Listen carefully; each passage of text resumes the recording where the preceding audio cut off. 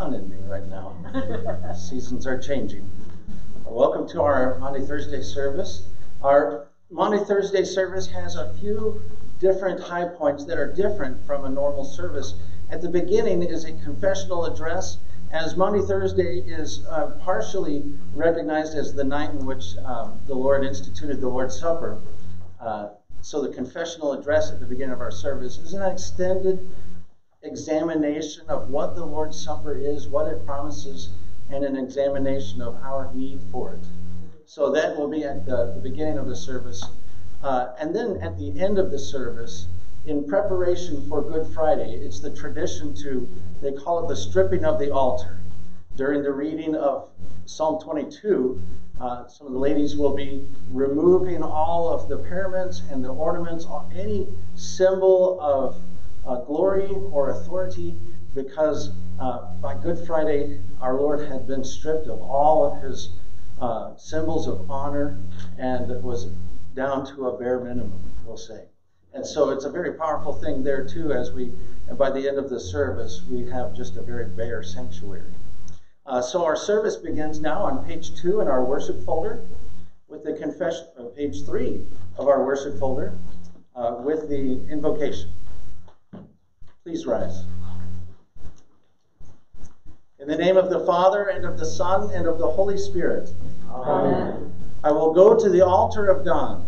To God joy. Our help is in the name of the Lord. Who made heaven and earth. During this Lenten season, we have heard our Lord's call to intensify our struggle against sin, death, and the devil, all that prevents us from trusting in God and loving each other. Since it is our intention to receive the Holy Supper of our Lord Jesus Christ on this night when he instituted this blessed meal for our salvation, it is proper that we complete our Lenten discipline by diligently examining ourselves, as St. Paul urges us to do. This holy sacrament has been instituted for the special comfort of those who are troubled because of their sin, and who humbly confess their sins, fear God's wrath, and hunger and thirst for righteousness. But when we examine our hearts and consciences, we find nothing in us but sin and death from which we are incapable of delivering ourselves. Therefore, our Lord Jesus Christ has had mercy on us. For our benefit, he became man, so that he might fulfill for us the whole will and law of God, and to deliver us, took upon himself our sin and the punishment we deserved. So that we may more confidently believe this and be strengthened in the faith and in holy living our Lord Jesus Christ took bread, broke it, and gave it to his disciples, and said, Take, eat. This is my body, which is given for you. It is as if he said, I became man, and all that I do and suffer is for your good. As a pledge of this, I give you my body to eat. In the same way, also, he took the cup, gave thanks, and gave it to them, saying, Drink of it, all of you. This cup is the New Testament in my blood, which is shed for you for the forgiveness of sins. Again, it is as if he said, I have had mercy on you by taking into myself all your iniquities. I give you myself, or I give myself into death, shedding my blood to obtain grace and forgiveness, and to comfort and to establish the New Testament, which gives forgiveness and everlasting salvation.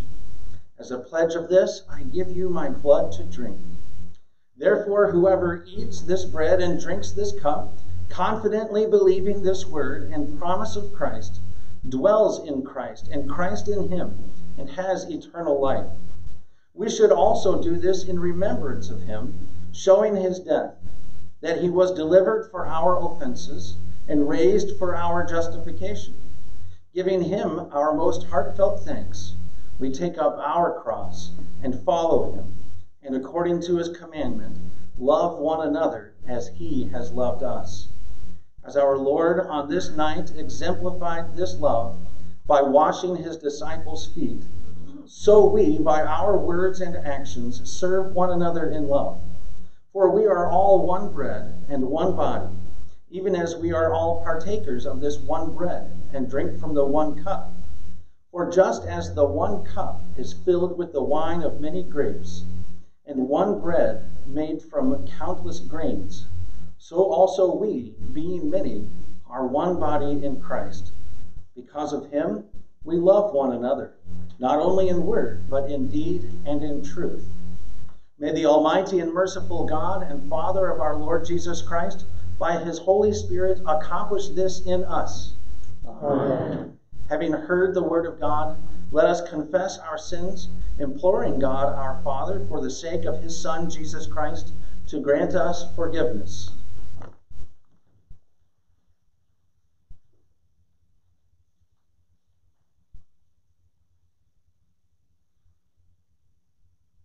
We confess, O God, merciful Father, I, a poor miserable sinner, confess unto you all my sins and iniquities, with which I have ever offended you, and justly deserved your temporal and eternal punishment. But I am heartily sorry for them, and sincerely repent of them. And I pray you of your boundless mercy, and for the sake of the holy, innocent, bitter sufferings and death of your beloved Son, Jesus Christ, to be gracious and merciful to me, a poor sinful being. God be merciful to you and strengthen your faith. Amen. Do you believe that the forgiveness that I speak is not my forgiveness, but God's? Yes. Let it be done for you as you believe.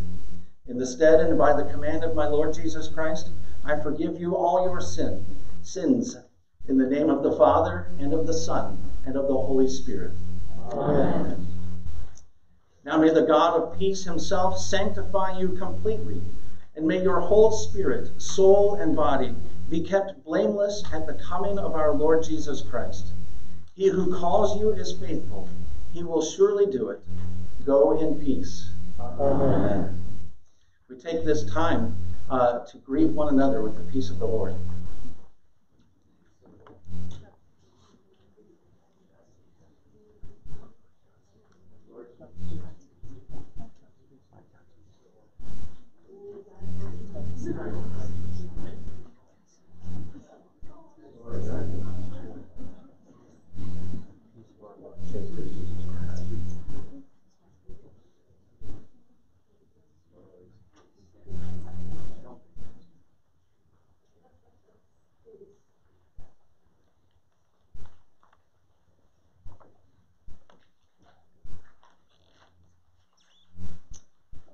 We resume on page six again with the salutation and collect. The Lord be with you. With you. Let us pray. O Lord, in this wondrous sacrament, you have left us the remembrance of your passion. Grant that we may so receive the sacred mystery of your body and blood, that the fruits of your redemption may continually be manifest in us. For you live and reign with the Father and the Holy Spirit, one God, now and forever. Amen. please be seated.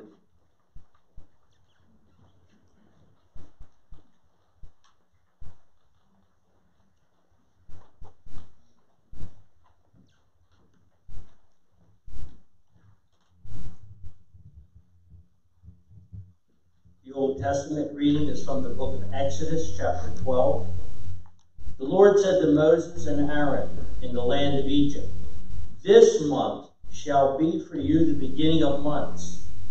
It shall be the first month of the year for you. Tell all the congregation of Israel that on the tenth day of this month every man shall take a lamb according to their father's houses, a lamb for a household. And if the household is too small for a lamb, then he and his nearest neighbor shall take, according to the number of persons, according to what each can eat, you shall make your count for the lamb. Your lamb shall be without blemish, a male, a year old. You may take it from the sheep or from the goats, and you shall keep it until the fourteenth day of this month, when the whole assembly of the congregation of Israel shall kill their lambs at twilight. Then they shall take some of the blood and put it on the two doorposts and the lintels of the house in which they eat it. They shall eat the flesh that night, roasted on the fire, with unleavened bread and bitter herbs. They shall eat it. Do not eat any of it raw or boiled in water, but roast it, its head with its legs and its inner parts. And you shall let none of it remain until morning. Anything that remains until morning you shall burn. In this manner you shall eat it, with your belt fastened, your sandals on your feet, and your staff in your hands. And you shall eat it in haste. It is the Lord's Passover.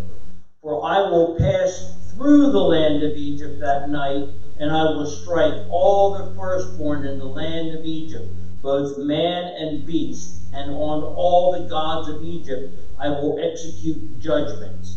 I am the Lord. The blood shall be a sign for you on the houses where you are.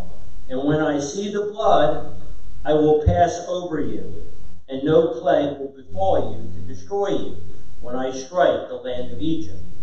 This day shall be a memorial day, and you shall keep it as a feast to the Lord throughout your generations as a statute forever. You shall keep it as a feast. This is the word of the Lord. Thanks be to God. Now we read Psalm 47 together. Blessed is the one who considers the poor. In the day of trouble, the Lord delivers him. The Lord protects him and keeps him alive. He is called blessed in the land. You do not give him up to the will of his enemies. The Lord sustains him on his sick bed. In his illness, you restore him to full health. As for me, I said, O Lord, be gracious to me. Heal me, for I have sinned against you. My enemies say of me in malice, When will he die and his name perish? And when one comes to see me, he utters empty words, while his heart gathers iniquity. When he goes out, he tells it abroad. All who hate me whisper together about me. They imagine the worst for me. They say, a deadly thing is poured out on him. He will not rise again from where he lies. Even my close friend in whom I trusted, who ate my bread, has lifted his heel against me. But you, O Lord, be gracious to me, and raise me up, that I may repay them. By this I know that you delight in me. My enemy will not shout in triumph over me.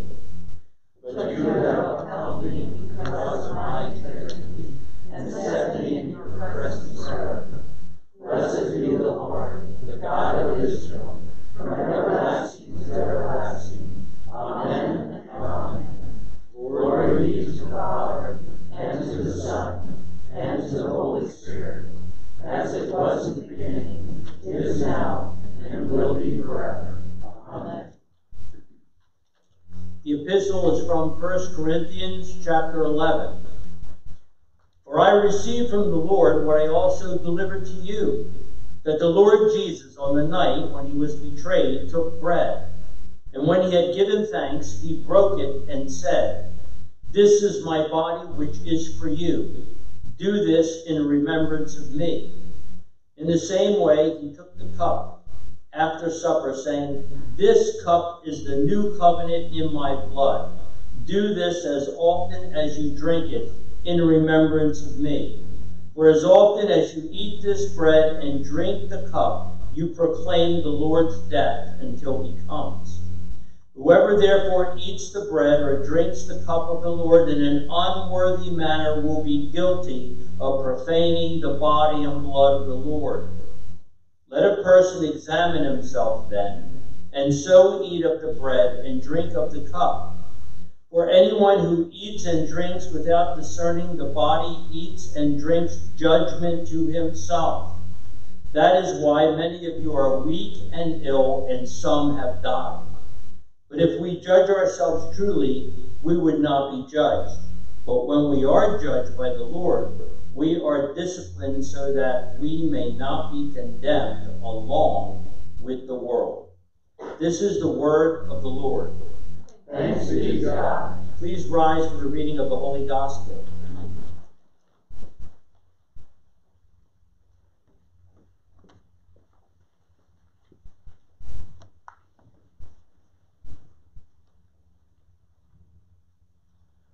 The Holy Gospel according to St. John, the first chapter.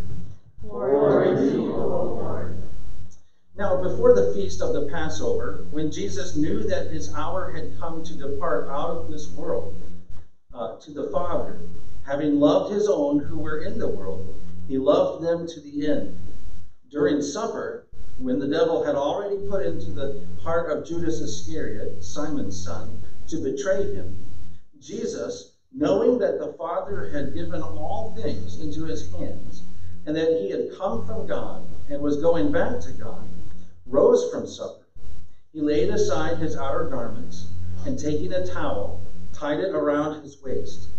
Then he poured water into a basin and began to wash the disciples' feet and to wipe them with the towel that was wrapped around him. He came to Simon Peter, who said to him, Lord, do you wash my feet? Jesus answered him, What I am doing you, what I am doing, you do not understand now, but afterward you will understand. Peter said to him, You shall never wash my feet. Jesus answered him, If I do not wash you, you have no share with me.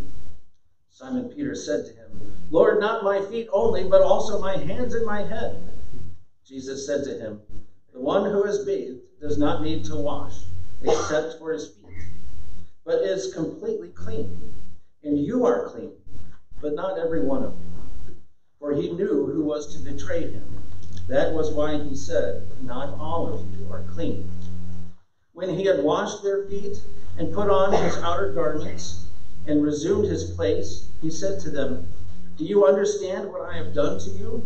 You call me teacher and Lord, and you are right, for so I am. If I then, your Lord and teacher, have washed your feet, you also ought to wash one another's feet. For I have given you an example that you also should do just as I have done to you. Truly, truly, I say to you, a servant is not greater than his master, nor is a messenger greater than the one who sent him. If you know these things, blessed are you if you do them. I am not speaking of all of you. I know whom I have chosen, but the scripture will be fulfilled.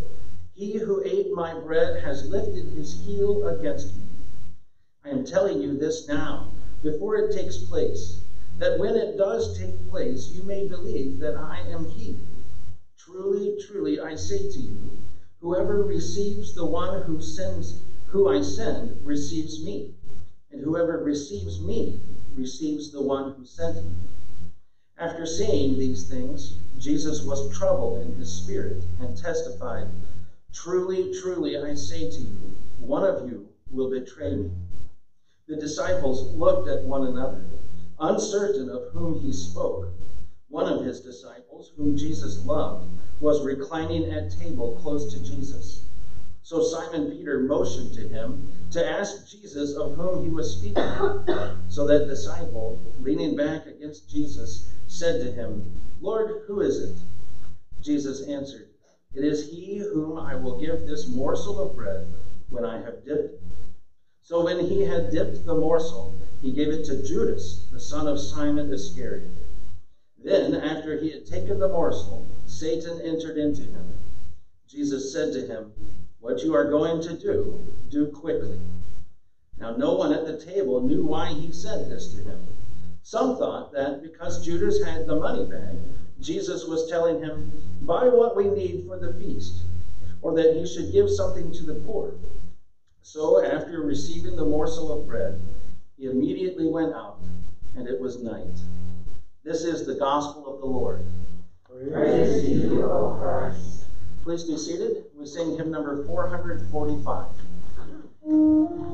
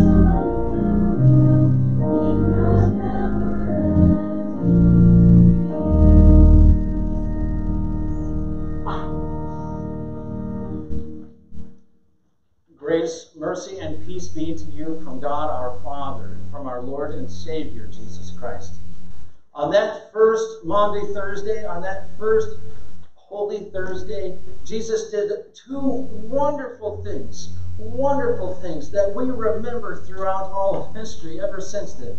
Jesus washed the disciples' feet, and in this great humility, he really taught them a little bit of a lesson because none of them wanted to wash feet. But in this great lesson of humility, he has taught all of us the Christian love that is shown through service to one another. That we love by being a servant. Jesus would take the lowest role and give himself even into the work of cleaning the dirt off of their weary feet. Peter thought, no, he doesn't deserve to be this low. No, Jesus, don't do it to me. And he, he quickly reverses. Once Jesus says, What, you don't want me? No, no, no, clean me all the way up over my head and everything. And Peter. And Jesus also institutes the Lord's Supper, showing this great love as a lasting memorial covenant and testament to bring even more than clean feet, to bring the forgiveness of sins into our lives. And it's shadowed, this night is shadowed by the darkness of the betrayal, the darkness of the arrest, and the darkness of the denial, which was not part of our lessons, but we can't miss it. Psalm 41, we've been working through this psalm throughout our season of Lent and working through with this. And tonight we get to verse 10, I believe. Even my close friend in whom I trusted, who ate my bread, has lifted his heel against me. Now we've been saying that the Psalms speak not only of the author, but speak of Christ and also speak of us. We see this here. This speaking uh, of David, we get to see here he is saying, My people that are close to me have turned against me. We think it's mostly about Absalom, his own son, the son who was raised with all of the cushiness of being the son of the king, the son who was raised with every comfort in his father's house, the son who had a temper, held a grudge, murdered his brother, who maybe deserved it, but that's another story murdered his brother, and then tried to take the throne away from his father. There's Absalom, someone so close to his father and his king, and he has turned against him in betrayal. And maybe we could see this in Judas also. Judas, so close to, to Jesus, has turned against him in betrayal. But this uh, verse 41, or Psalm 41, verse 10 says, my close friend, whom I trusted, who ate my bread, has lifted his heel against me. We wonder that, of course, not maybe knowing the, the uh, idioms of the day, you wonder what, what does a heel do? Well, the first idea, and it's mentioned in the intro to our bulletin, is that you've been kicked. The raised heel is in a kick. I don't know what kind of kick, a roundhouse, a back kick, forward kick, high kick, I don't know. But that someone close to you has betrayed you, even into an attack, has kicked you, has raised his heel against you in such a way to bring an attack against you. Another way this is translated as being, uh, has lifted his heel against me, is that the heel is raised when he walks away from you and he has turned his back on you. That either way you look at it, that the one who has been close to you, and even it says here, who eats my bread, has either attacked me or turned away from me. You know, the heel raises when your foot is facing the person you are leaving. He's turned his back on you.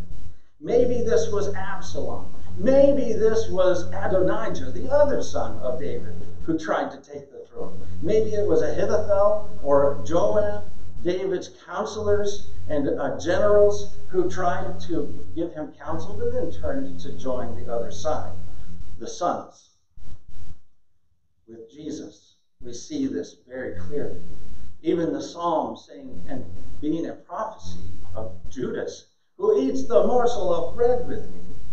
Judas, who had been included in the twelve. Judas, who got to walk with Jesus, who got to be empowered by Jesus to go out and heal the sick and cast out demons and proclaim the coming kingdom of the Lord. Judas has now gone, gone to the chief priests, and as it's recorded in another gospel, what will you give me if I deliver him, Jesus Christ, over to you? They paid him 30 pieces of silver. That was the price of a slave. They bought his life from Judas. And from that time, Judas sought an opportunity to betray him. And we don't know why. We want to know why. Was he mad at Jesus and so he betrayed him? He gave him over because for some reason he thought he could, had to get rid of Jesus?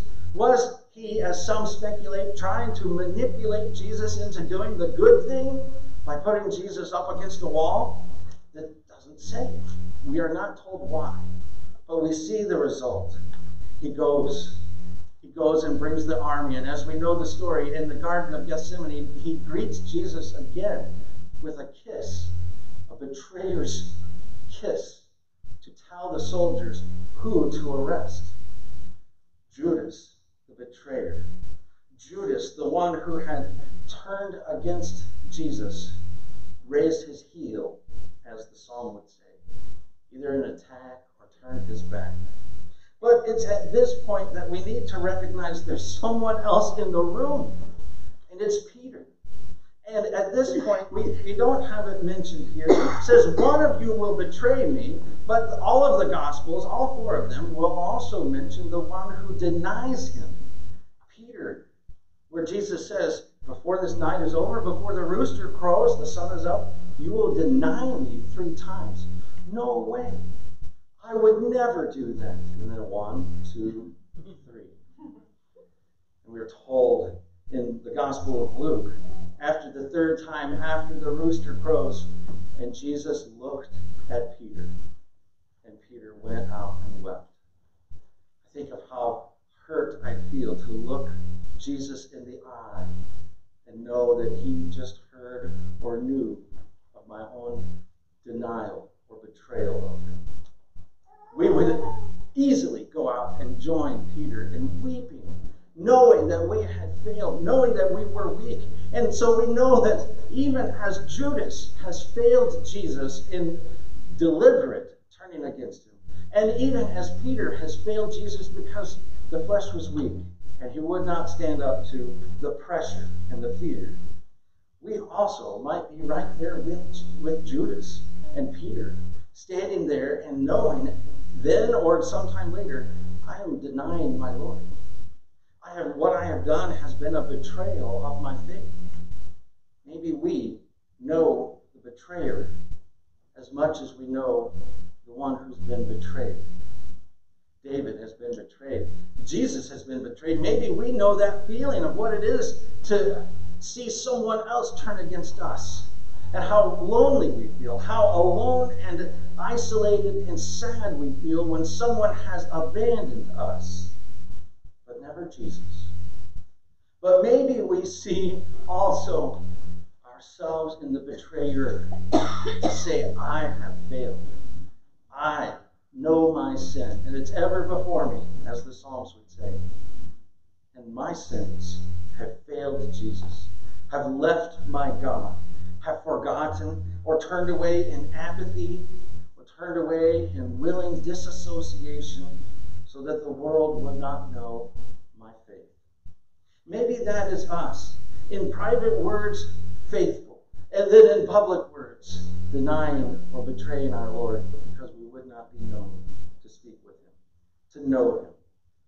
But either way, let's remember that we stand with Judas and Peter at this point. At this point, Judas and Peter and the others, Jesus has served them. Jesus, who knew who they were and knew what they were going to do, knew their sins, their betrayal and their denial, he serves them, washes them, and says that if I wash you, you will be clean. And then he serves them the Lord's Supper. He says, Take this, take this, and be forgiven. I will take the sins, and you can receive my forgiveness. And yet, he knew the betrayer, and he knew the denier, and he knew the sins of the others whom he had washed clean. He knew the sins of the others whom he had filled with his body and blood for the forgiveness of sins. He greeted them with love and forgiveness he greeted them with love and service. He gives them everything they need, even though He knows what they will do. Our, one of our upcoming hymns, hymn 629, What is This Bread? has very powerful lyrics that get me every time. So I'm not going to sing it. I'll be serving, and you can sing it. But it says, So who am I that I should live and he should die? My God, my God, why have you not forsaken me? And then in another verse, is this for me? I am forgiven and set free. Oh, taste and see, the Lord is good. The Lord knows betrayal, and He may even know our betrayal. And yet He says, Come and receive the gift of forgiveness. Come, if you've been hurt by betrayal, come and know the one who will be victorious over every sin.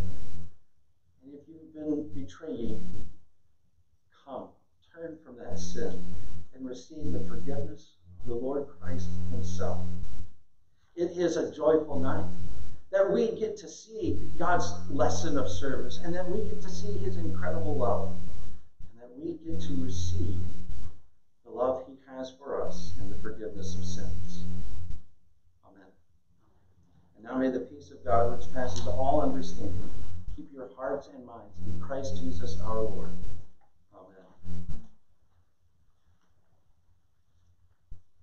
We continue with the prayers of the church. Please rise.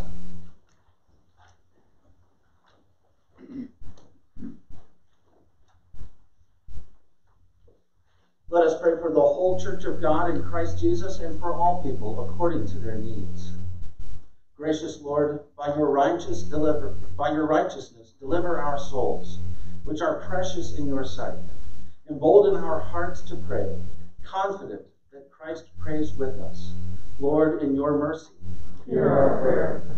Heavenly Father, make your saving power known throughout the earth. Lord, in your mercy, hear our prayer. Dear Lord God of Israel, hear our prayers for all those who are sick. Refresh them in their suffering, comfort them with your word, and nourish them in body and soul. Lord, in your mercy, hear our prayer. Gracious host, as you welcome us to your altar to receive our Lord's Supper. We pray, but count us worthy to receive the forgiveness, life, and salvation that you give. Lord, in your mercy, gather us, our Lord, around your Son's altar and throne with angels and saints. Bless our fellowship on earth, that at length we come to share this feast in eternal life. Lord, in your mercy, into your hands, O Lord, we commend all for whom we pray, trusting, excuse me, for whom we pray, trusting in your Son, our Lord Jesus Christ. Amen. We continue on page 160 with the preface. I'm sorry, we continue in our hymnals on page 160 with the preface.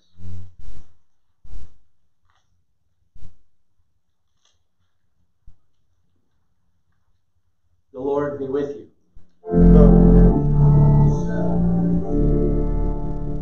Lift up your hearts. Let us give thanks to the Lord our God.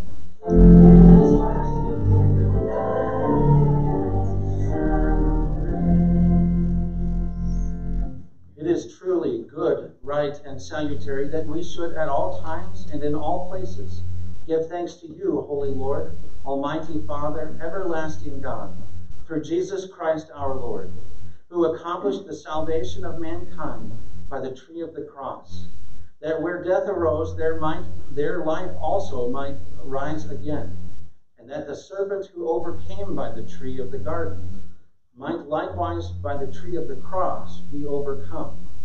Therefore, with angels and archangels and with all the company of heaven, we laud and magnify your glorious name, evermore praising you and saying,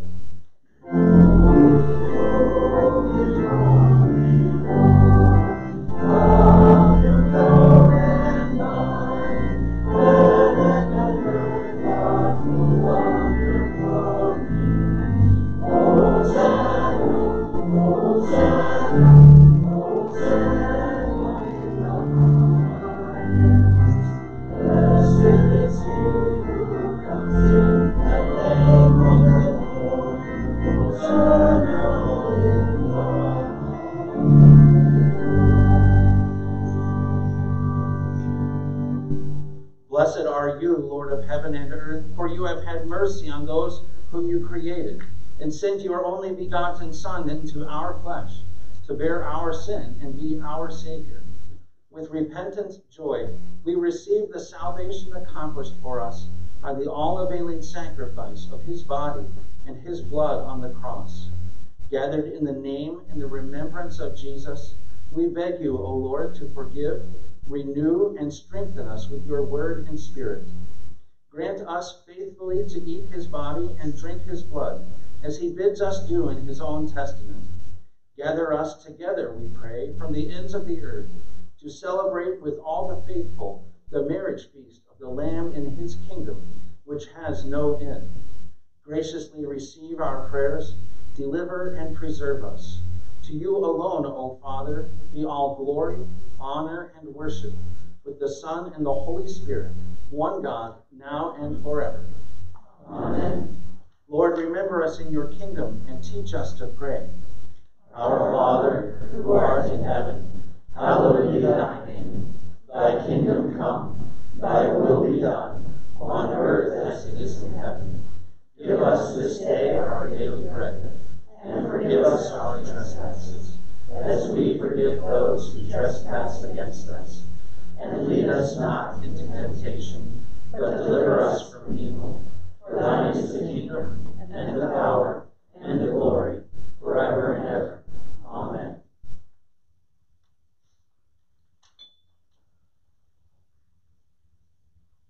Our Lord Jesus Christ, on the night when he was betrayed, took bread, and when he had given thanks, he broke it and gave it to the disciples and said, Take, eat, this is my body, which is given for you. This do in remembrance of me.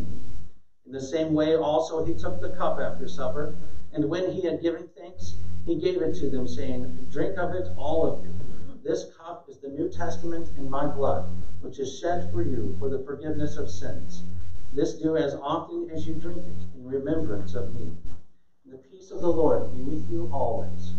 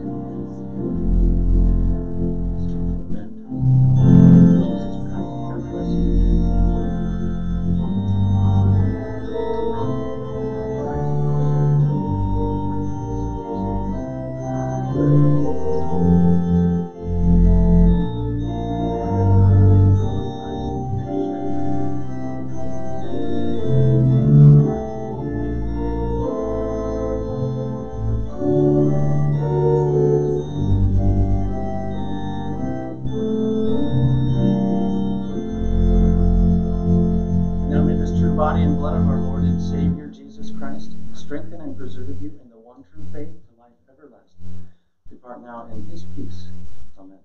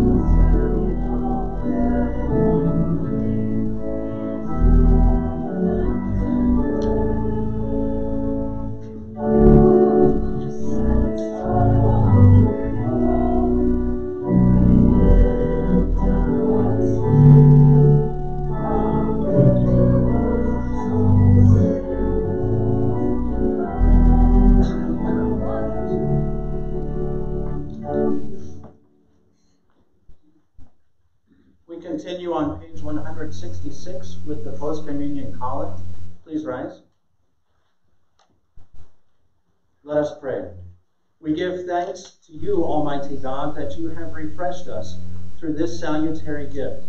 And we implore you that of your mercy you would strengthen us through the same in faith toward you and in fervent love toward one another. Through Jesus Christ, your Son, our Lord, who lives and reigns with you and the Holy Spirit, one God, now and forever. Amen. Please be seated.